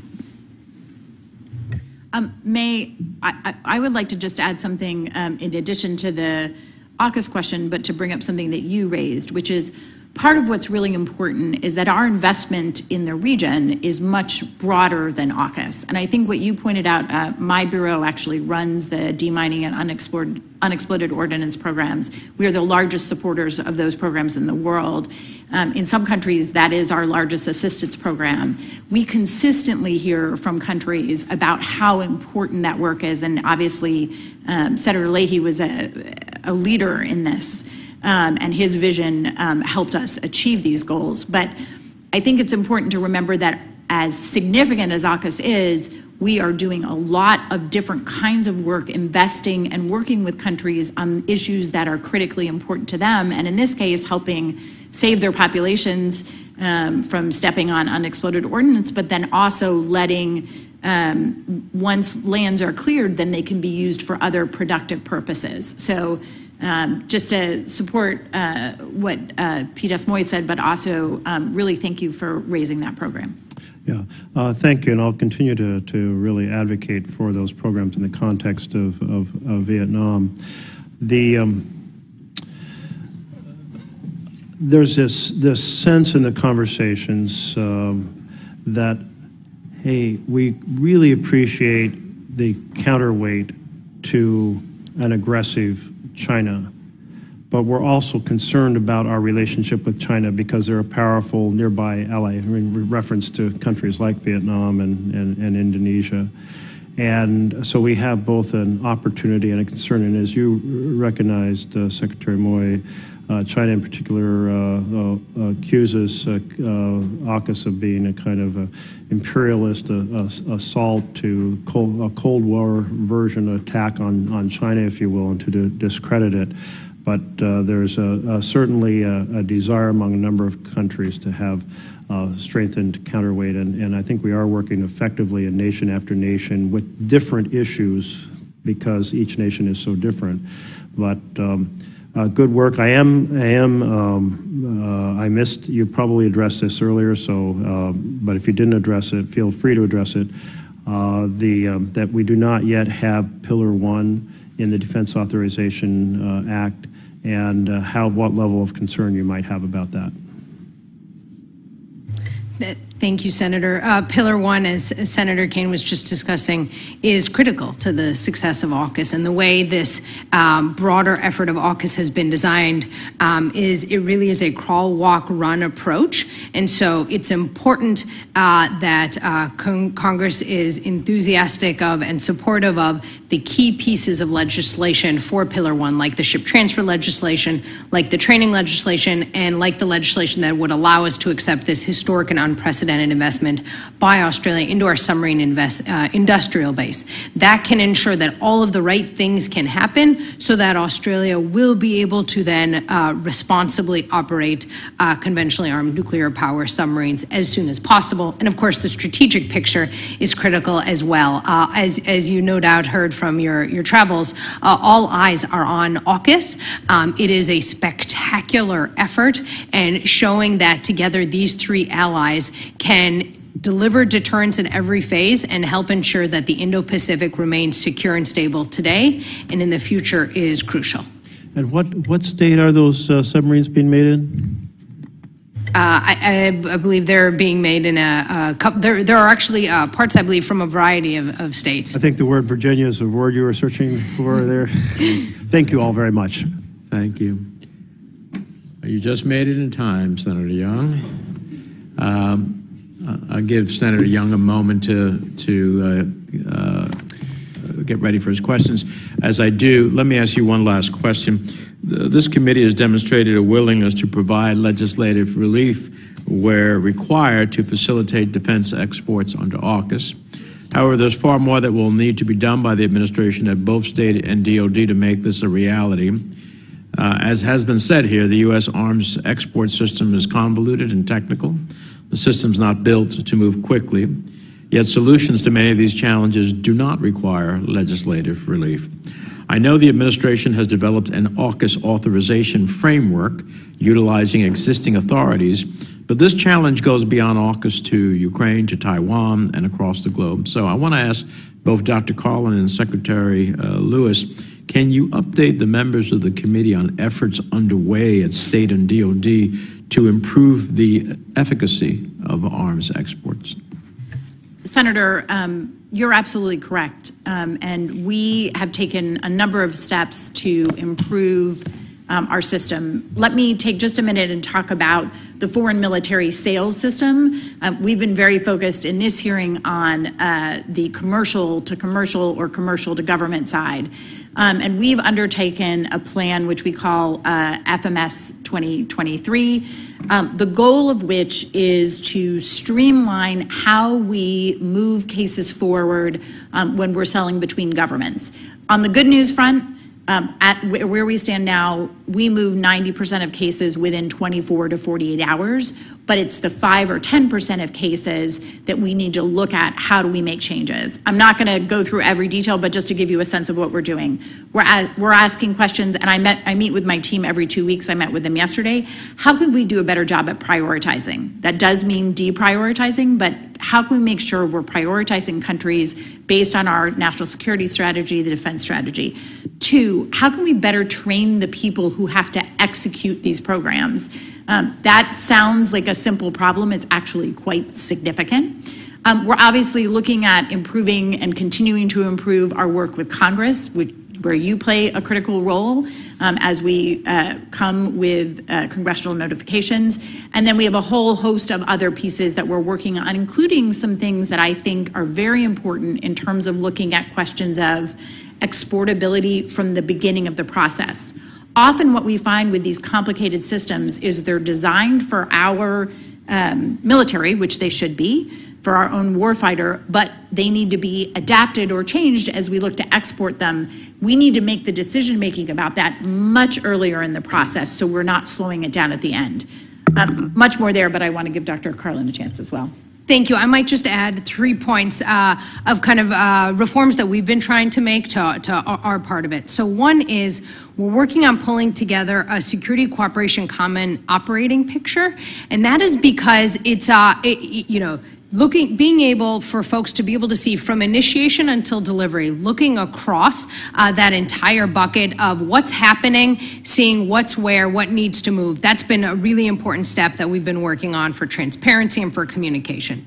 Another piece I want to highlight is these process improvements. And some of that is, I think, in line with what Assistant Secretary Lewis was saying, is making sure that not only can folks see the entire picture, but then they can elevate the challenges, right? And be able to figure out, hey, we, we need to deal um, with, with an accountability problem here. Something's not moving here. The third piece I want to highlight is uh, Secretary Austin announced uh, over the last few months the creation of the Defense Security Cooperation Service, which gets at this crucial issue of training. So much of this starts uh, with uh, the folks um, in the U.S. military who are working in the countries, in our in our embassies, with our partners and allies and allies, and trying to understand what is it they're looking for? Why are they looking for how that? How does it fit within our national security interests? So we're standing up a really robust training effort so that we can ensure we are organizing and training the folks um, appropriately to be able to make this all as successful as possible. Obviously, all this is hand in glove with our colleagues at the State Department. I just make a comment. The, you know, is, I know there are people at state, particularly, but maybe defense too, who rally against the uh, informal process. I have to be honest with you. Uh, when my staff uh, gives me the, um, the, the sale notice, I generally do it in the same day. It depends. It's very rare when uh, the, the end user who we're tentatively going to sell to has problems. And I am concerned about those problems because um, I have no ideological problems in selling American weapons abroad. I am have a problem when the end user is going to use it wrongly against civilians uh, and other entities. So, um, so for our part, I know as, as the chair, I've tried to expedite our response uh, so it can be quick. Uh, but I think it would be a huge mistake uh, if anybody tried to undo the formal, uh, the informal process. Senator Young. Thank you, Chairman. I thank our witnesses for being here today. I know it's been kind of a long morning for you. As a committee, uh, we need to recognize that Pillar 2 of AUKUS will be impossible to achieve without a secure supply of critical minerals. China's dominant position in this sector, particularly through its deep ties to a number of developing resource-rich nations, has led to it led it to account for approximately 60% of worldwide production and 85% of global product, critical mineral processing. Fortunate, fortunately, Australia is well positioned to help us reduce this dependency, uh, especially for critical defense requirements, uh, including cobalt, tungsten, manganese, and, and lithium. And I believe we need to ensure that AUKUS takes Australia's existing and potential role as a mineral supplier into consideration. This should start with the strategic decision to designate Australia as a domestic source under the Defense Production Act, as was included in the Senate passed NDAA. And if time permits, I'll, I'll ask Dr. Karlin how the goals of AUKUS would be advanced by extending certain authorities under the Defense Production Act, such as the designation of domestic source to other trading partners with critical minerals that found, aren't found in the U.S. Uh, but in my time, I certainly want to get to uh, Secretary Lewis and uh, start by asking what existing regulatory or statutory barriers might be hindering our foreign procurement of critical minerals, and how would this impact the goals of AUKUS? Of course, defer to other witnesses if, if, if you like on this question. Uh, thank you for the question, Senator. Um, I'm not uh, an expert on um, critical minerals, uh, but what I can say is that we uh, do have discussions with a number of countries um, about the availability uh, of, of uh, these critical minerals or rare earths. And so uh, we do know that this, uh, there are uh, supply chain issues. We do know that it is of critical importance to get off uh, reliance on specific countries that may have uh, cornered the market or may have dominance in, in these areas. So um, those countries, including Australia, but it could be Indonesia, it could be any number of countries in, in Africa, uh, in other places in the world uh, where, our, where there is availability, uh, we are absolutely talking with governments to discover ways to uh, stay off that kind of dependence on, on a single country or other countries. Thank you very much for, for raising th- this, Senator. Uh, on uh, DPA uh, and, and uh, Australia in particular, I would just highlight that adding the UK and Australia as domestic sources would streamline technological and industrial based collaboration. It would accelerate and strengthen AUKUS implementation, and it would build new opportunities for co investment in the production and the purchase of critical minerals, exactly as you note, and also critical technologies and other strategic sectors. Uh, I would see this as perhaps a complementary effort to the export control reform that uh, conversation that is also happening, um, but probably not a substitute uh, for that conversation. Okay, thanks. I, you know, as much as anything else, I'm, I'm, I'm I, I, I keep bringing this issue up in the hopes that um, these critical mineral conversations are happening, happening um, among almost all the stakeholders within our government, with their counterparties in, in, in foreign governments as, as, as well, because I believe, and, and feel free to correct me if I'm wrong, that this is a real risk factor in implementing many of our priorities, including AUKUS. And if it's not regarded as, as, as a risk factor, then um, I, I'm concerned uh, because I think one of the risks is this is so little discussed compared to other issues, and and uh, so um, hopefully the administration will will engage this committee on on uh, critical minerals, maybe in other contexts. Given the essential role of critical minerals in our advanced weapon systems, would ITAR apply to critical minerals from Australia? Based on my understanding, I don't think that ITAR would apply to critical minerals. Uh, we, uh, the ITAR comes on, uh, applies to items on the U.S. munitions list, um, which fall into, generally speaking, uh, weapons or things associated uh, directly with weapons. Thank you. Given the importance, lastly, of, of critical minerals to AUKUS and indeed our economic prosperity, how should the United States be considering supply of minerals in response to the recent BRICS summit and its emphasis on critical minerals? No, absolutely, uh, Senator. Um, that is something that uh, at the, at the high le highest levels of the State Department, we have had uh, discussions with a number of countries, uh, including the ones I just mentioned. If you, you know, I could just cite a few examples: Philippines and nickel, uh, Indonesia. We talk about cobalt in, in Congo and in other countries as well.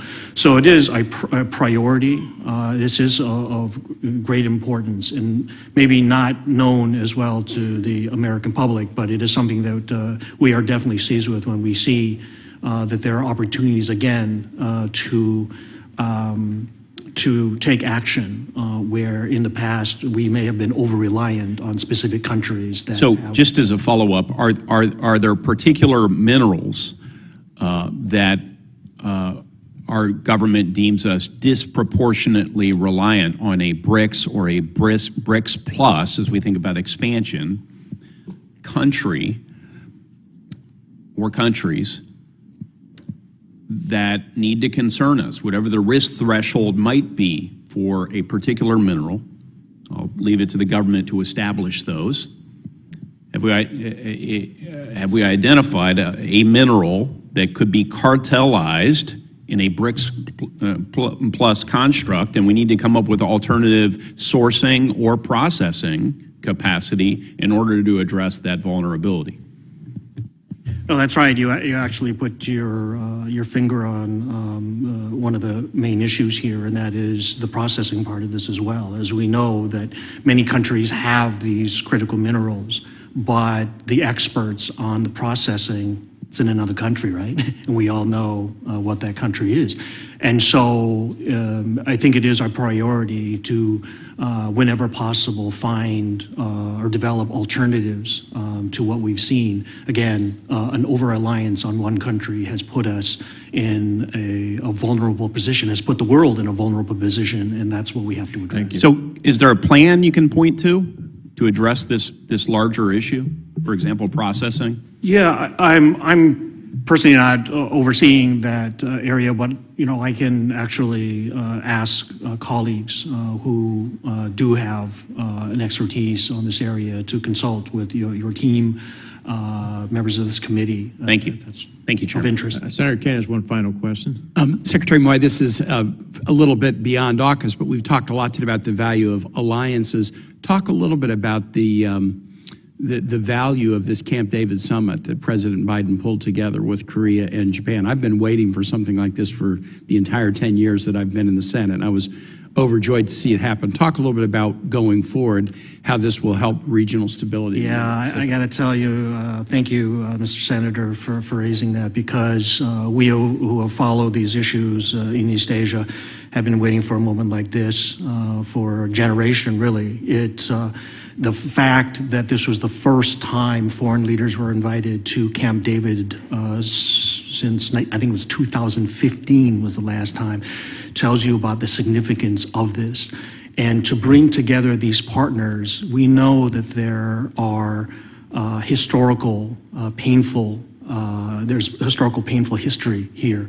But we have to applaud the courage of uh, the ROK President Yoon as well as Prime Minister Kishida in um, you know taking up this challenge because they recognize that the the geostrategic conditions in East Asia have changed, and we have to recognize that we have to respond to this. And the best way for this is to unite or to bring together these two democracies that have so much in common with us in terms of values, bring them together in an effort to push back on some of what we've seen out there. And so when we talk about the, the regional uh, security environment changing, we're not talking about just one country. We, we could be talking about uh, Russia's illegal and unprovoked uh, attack on a sovereign nation. We can talk about since 2022, the nearly 100 launches of missiles coming from the DPRK, including four ICBMs just this year.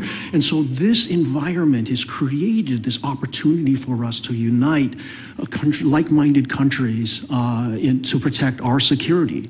Include, and this is important, that it is about American security as well as the entire East Asia Pacific region. Absolutely significant, and we look forward to more conversations. It's not easy. Uh, it's not exactly the most popular thing. It's not going to win a lot of votes in, in each of these countries because of that shared uh, painful history. Um, but we think it is the first step in a, in a significant um, uh, change uh, to the future of um, the, the security environment right. in the Indo-Pacific region. Thank you. Godspeed. Thank you, Mr. Chair. Thank you. Uh, Well, this has been a very helpful, uh, robust hearing. With that, the record for this hearing will remain open until the close of business on Friday, September 8th. Uh, We'd ask the panelists, if they receive questions, to please respond to it uh, and respond to it uh, in a substantive way. With the thanks of the committee for your participation and your insights, this hearing is adjourned.